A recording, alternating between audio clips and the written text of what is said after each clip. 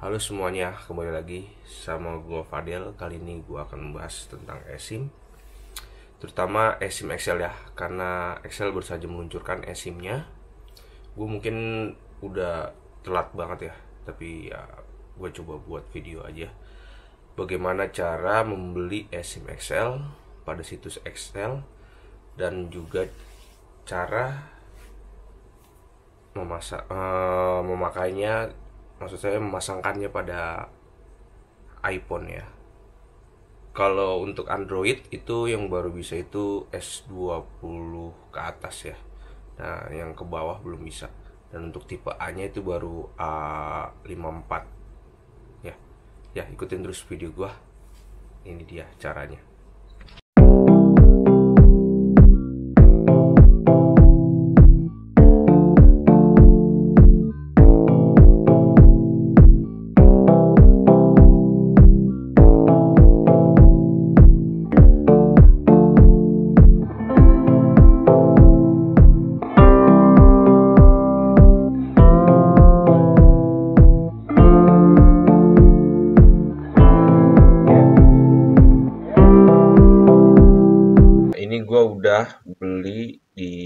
websitenya ya di s di store.xl.co.id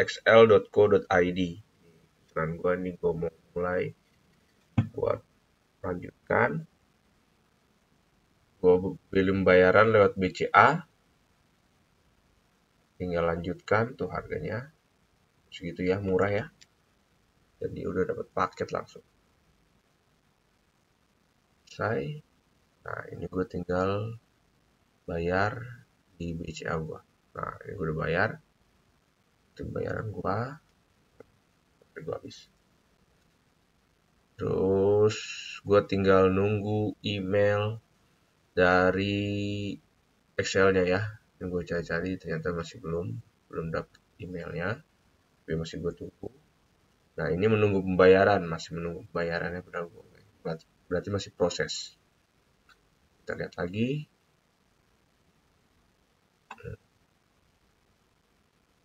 ini agak cukup lama ya prosesnya nah itu dia caranya bagaimana cara membeli eSIM XL pada situs XL kali ini gue akan membagikan bagaimana caranya memasang eSIM pada iPhone ya ikutin terus video ini Oke, kali ini gue udah dapet emailnya guys dari Excel.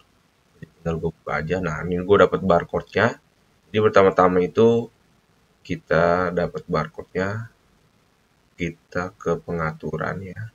Ke pengaturan.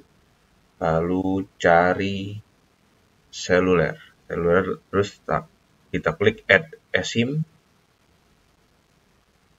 Nah, loadingnya agak lama. Nah, kita pilih use QR code ya terus salah use QR code terus kita buka email yang tadi kita scan barcode yang kita dapat dari email. Nah ini langsung. Ya akan lagi proses ya lagi loading. Nah activate eSIM aktif. Kita aktifkan.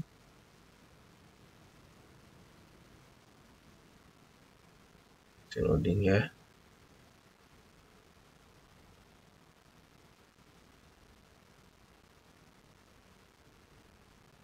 Nah, udah mulai muncul nih sinyal-sinyalnya.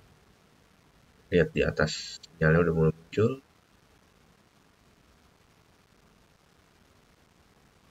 Ah, sinyalnya udah ada ya dan nah kita jadiin terserah mau kita labelin primary apa bisnis nih. Jadi bisa kita labelin satu-satu SIM utama mana, SIM bisnis mana. Nah, kita gua pilih ini buat bisnis ya. Bisnis saya bisa dua tuh ya. Nah udah ini konti uh, ini buat iMessage. Apakah dia bisa buat di iMessage atau dua-duanya bisa dipakai iMessage? Gue pilih dua-duanya bisa pakai iMessage. Nah FaceTime pilih low. Untuk FaceTime mungkin gue pilih bisnis ya. Nah, oke. Okay. dan ini karena belum aktif nah nih, nih. udah aktif ya. Nah tapi ini belum gua registrasi. Cara registrasinya gampang ya. Lu ya, kita tinggal buka ke SMS aja. Kita langsung SMS untuk aktivasi ke 444 4 4 kali ya. Dari bisnis. Nah kita tulis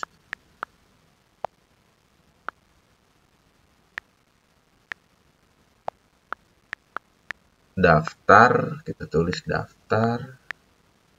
Karena setting. Ya langsung lu klik daftar pagar nomor KTP sama nomor kakak lu ya. Terus lu kirim. Nah ini gua langsung buka di aplikasi My Excel pengen masukin pengen lihat cek apakah da benar dapat kuota nah langsung dapat ini ya OTP-nya OTP langsung gue masuk. Kan udah masuk. Nah dia nih bisa masih nol dan dapat ya paketnya lumayan. Dapat paket gratis ya selama berapa bulan. Lumayan lah. Ya jadi ini eSIM ini dia kelebihannya dia tuh kita nggak perlu cabut pasang cabut pasang ya. Kalau pengen pasang tinggal kita scan. Kalau kita pengen cabut maksudnya dihapus tinggal dihapus lewat tadi seluler kemudian kita pilih eSIM kita hapus eSIM ini paket-paketnya masih belum benar nggak? Itu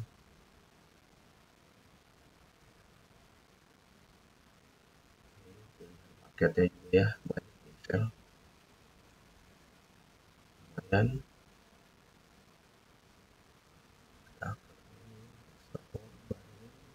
combo package berarti sama ya kayak apa? Kayak paket uh, SIM card biasa.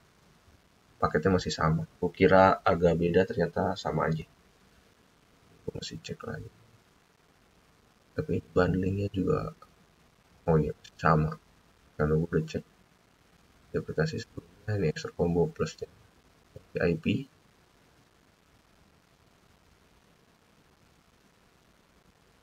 nah iya. Excel ini kalau menurut gua eh, jaringannya lumayan bagus ya daripada smart plan karena eh, smart plan masih kurang kalau menurut gua dari itu gue lebih pilih eSIM XL ya daripada eSIM Smart. Nah, kalian yang mau beli eSIM ya tinggal ke situsnya yang tadi gue bilang store.xl.co.id ya. Gampang banget. Paket-paketnya banyak sih. Sama kayak paket SIM card biasa ya.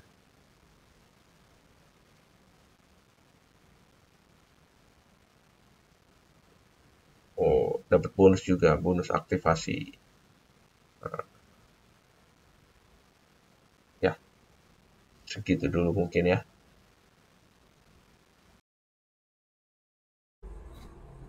Terima kasih yang sudah menonton video ini. Jangan lupa like dan subscribe dan tungguin video-video terbaru dari gue.